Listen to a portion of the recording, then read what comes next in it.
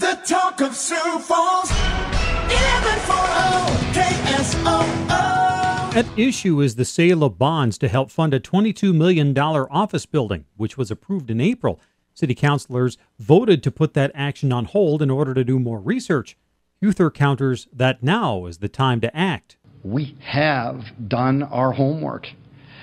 There has been more study, there has been more due diligence, and there has been more collaboration on this particular topic than the event center and the indoor pool combined.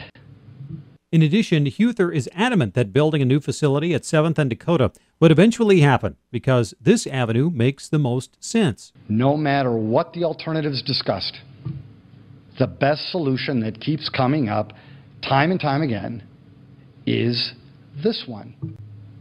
Sell the sales tax revenue bonds and construct a new City of Sioux Falls administration building.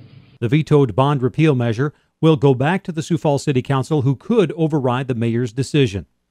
I'm Dan Peters reporting.